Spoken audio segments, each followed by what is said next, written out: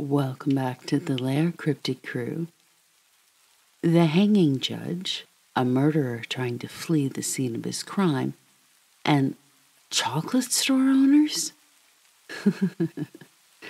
it's an odd mix, to be sure, but in Bastion Square, there are only three of the many spirits you're likely to run into if you dare to explore the area. In a city that prides itself on paranormal happenings, the square reigns supreme with things that go bump in the night. Every building is said to have at least one ghost, and even the alleys have supernatural reputations. Murderers, criminals, business store owners, and victims find themselves spending eternity in Bastion Square. Why is it so haunted? Some say it's ley lines energy forces that supposedly connect major historic structures and important landmarks. Others say the area is built on sacred indigenous land. And then, of course, there's the created history of being a center for hangings, murders, tragic deaths, plus speculation that at least one architect may have been dabbling in the occult. Grab your salt, your iron, and whatever protective magic you've got, Cryptid Crew. In today's episode, we're digging into the creepy history of Bastion Square in Victoria, British Columbia, and those who still roam the buildings and alleys.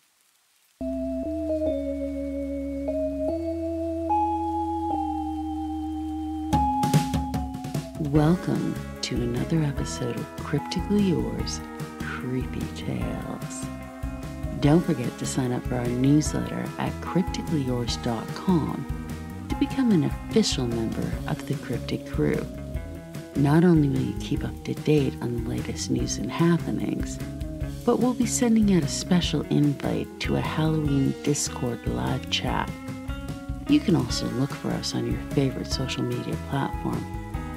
Be sure to check out the website for links and details.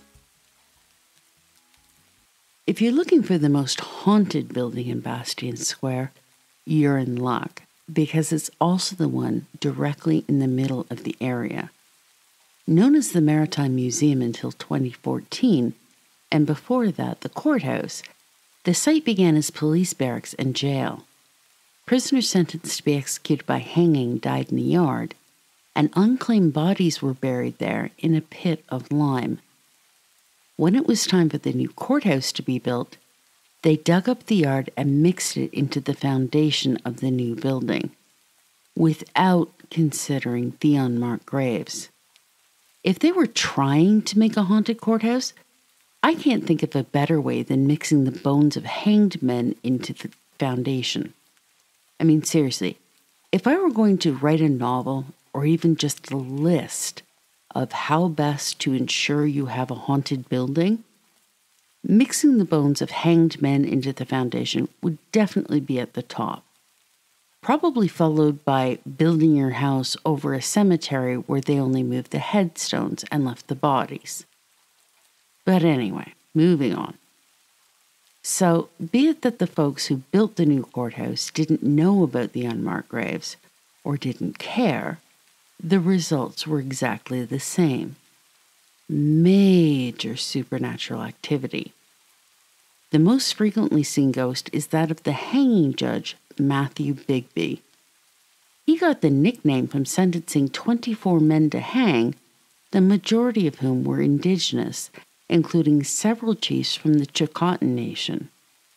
He roams through the building, although his favorite places to haunt seem to be his former courtroom, running up and down the stairs, and stalking through the halls. Some say the tall, slender man with the goatee is responsible for keeping the other spirits lurking around in line, preventing them from causing any more mayhem than they already do. Others say he's on the prowl, looking for another guilty man to punish. Either way, the scent of pipe smoke and the sound of footsteps should be taken as a warning that the hanging judge is approaching, and it would be best to get the heck out of his way since he's known to simply move through anyone in his path, leaving the person with a bone deep sense of chill and terribly shaken.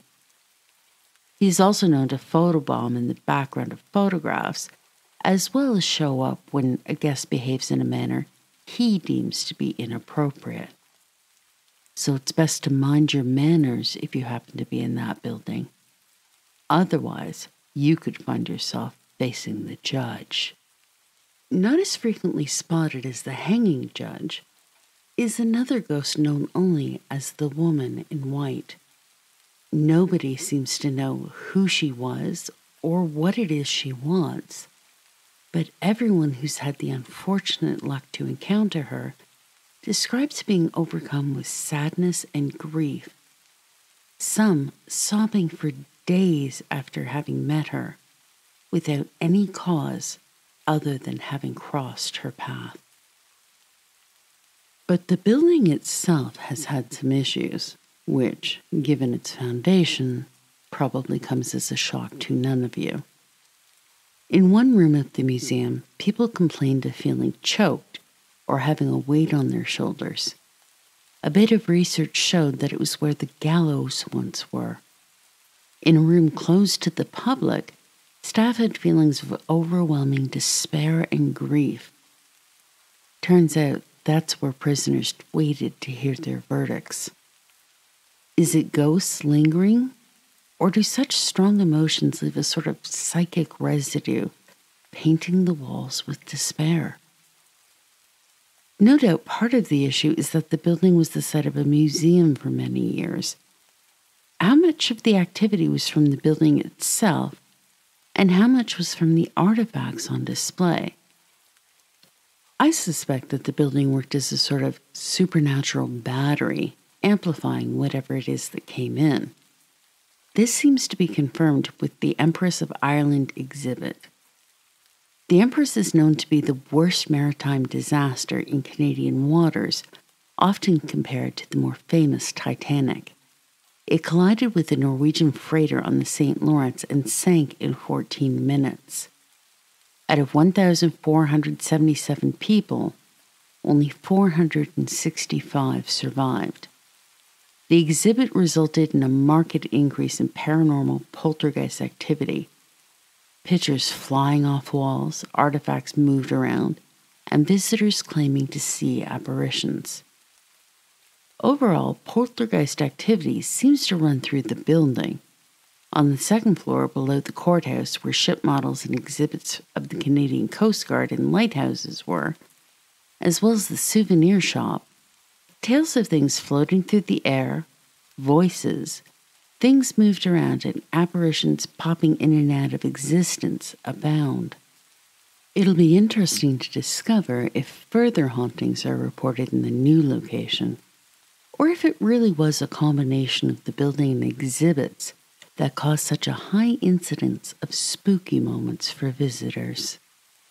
Enjoying the show? I'd love to hear from you.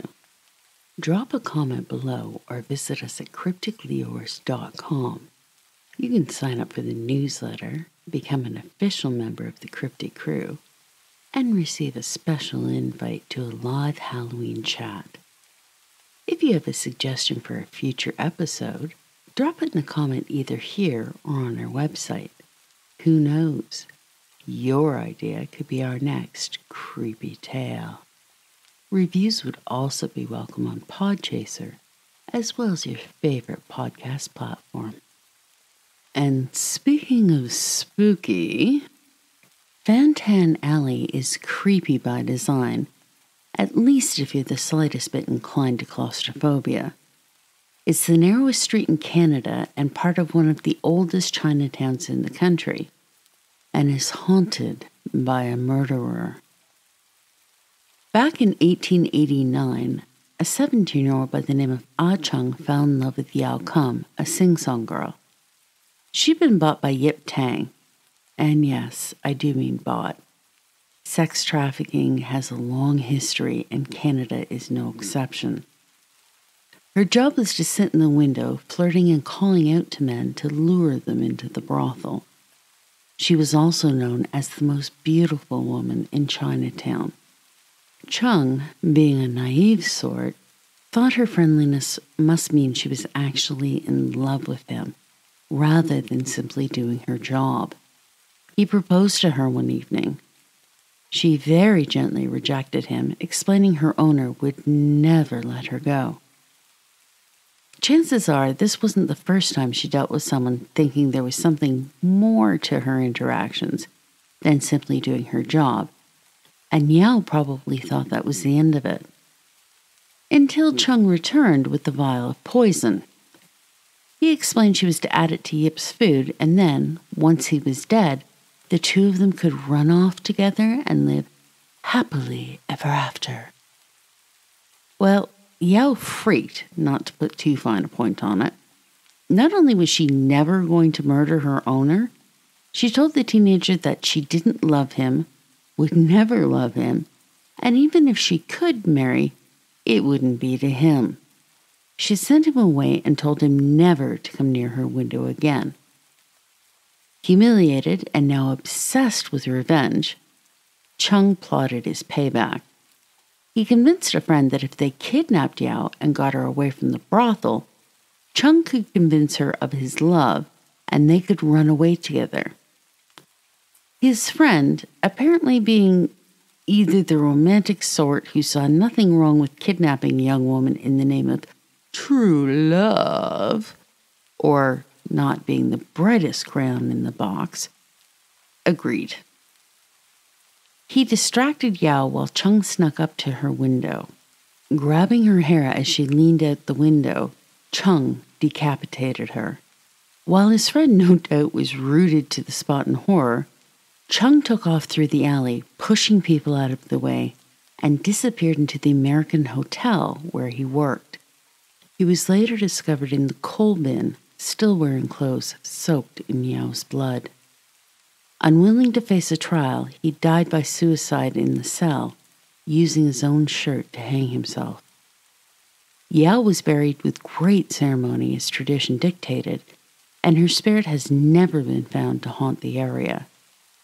Chung, however, was dumped in a pauper's grave and made his presence known almost immediately. At the hotel, an invisible presence would pull workers' hair, step on their heels, and generally torment them until all the Chinese workers refused to enter the hotel. Once traditional rituals were performed, including food being left out for him, things eased up considerably. Still, if the food offering was forgotten, knives would spin off counters, food got dumped on the floor, and stoves were either cranked up high or turned off completely. Fridges were left open, and workers complained of someone lurking right behind them. Even now, over a hundred years later, if food and drink isn't left out, activity increases dramatically. Chung isn't content to lurk around the hotel either. People traveling through Fan Tan Alley have seen a young man covered in blood racing toward them. Reports of being shoved, a strong wind whipping down the alley on a still night, and the sound of stampeding footsteps are common. Now, let's look at Rogers chocolates for a bit of a sweeter story, if you'll pardon the pun. Charles and Leah Rogers built their candy store in Bastion Square in 1903.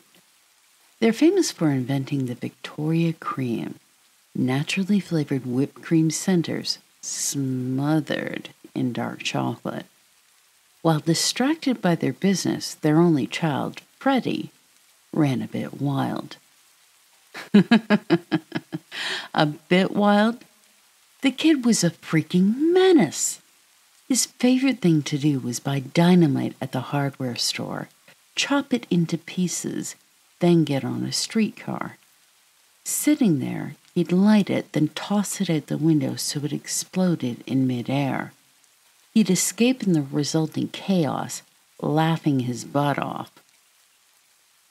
It was such an issue that a law was passed banning him from public transportation. Undeterred, he continued to experiment with exploding things, until his luck ran out. He mangled his right hand, turning it into something described as a crab claw, lost hearing in his right ear, and vision in his right eye. A year later, at the age of 15, he died by suicide. His devastated parents threw themselves into their business, living at the store. They rocked in wicker chairs by the candy stoves at night until grabbing a few hours' sleep in the offices upstairs. When Charles died in 1927, Leah sold the business. She died in 1958. The hauntings began immediately upon Charles' death and increased dramatically after Leah's. Charles Ghost moves candy making tools around, ties workers' shoelaces together if they stand still for too long, throws coins around upstairs, stomps loudly through the office, opens and closes doors and drawers, flicks lights on and off, and the office radio is known to turn on by itself. Leah's ghost is a bit more helpful. She straightens the chocolates and redoes window displays when the staff don't arrange them to her liking. Once a customer tried a sample and didn't like it, which, I mean, fair, not everyone's going to like everything, right? But instead of tossing it into the garbage, the woman put it back on the tray. Ew. As she was leaving, something hit her in the back of the head. Turning around, she realized it was the tried sample. Someone had thrown it at her. She was about to protest when she realized none of the people in the shop had moved. Nobody could have thrown it at her. At least, nobody she could see. Leah didn't tolerate nonsense or rudeness in her store, and putting a bitten sample back on the tray certainly qualified as both. One period of increased activity happened when the store decided to introduce a line of milk chocolates. Opening the store each evening, they discovered piles of the chocolate on the floor, squished into muck. Whole trays were dumped out, stove burners were turned off during the making of the milk chocolate. Speculation was that since Charles had only made dark chocolate, he was having himself a bit of a tantrum. A manager went into the empty store, no doubt feeling pretty awkward, and explained why they were expanding into milk chocolate and that the sabotage was hurting the business. The tampering stopped immediately. Christmas season was one of the busiest for Rogers Chocolates, and December of 1980 was no exception. A strange handprint began appearing on a security mirror eight feet off the ground. It promptly reappeared every time it was cleaned off. Frustrated, a manager ordered each worker to measure their hand against it, determined to catch, and no doubt fire, whoever was messing around. They soon realized that it was the print of a mangled hand, crab claw like even. It seemed that Freddie had decided to visit his parents for the holidays and wanted to be sure people knew he was around. Now, those are only a handful of stories about Bastion Square. Each year, thousands of tourists, paranormal investigators, and those looking for a bit of a scare hang out in the square, hoping to experience a brush with the other side. Some choose to stay at the Empress Hotel, which I covered in another episode. Ghost tours are a thriving business in Victoria, especially around Halloween. Whatever the reason that makes Bastion Square such an attraction to the dead, it definitely works on the living, too. I'm afraid that's all there is for this episode, Cryptic Crew. So, do you think tonight's creepy tale was fact, fiction, or somewhere in between? You can drop a comment below, head over to crypticallyyours.com, or hunt us down on your favorite social media platform. Return to the lair next week and discover what else we've dug up for you. This is Grace Stone, your host, reminding you to always keep it creepy, cryptids.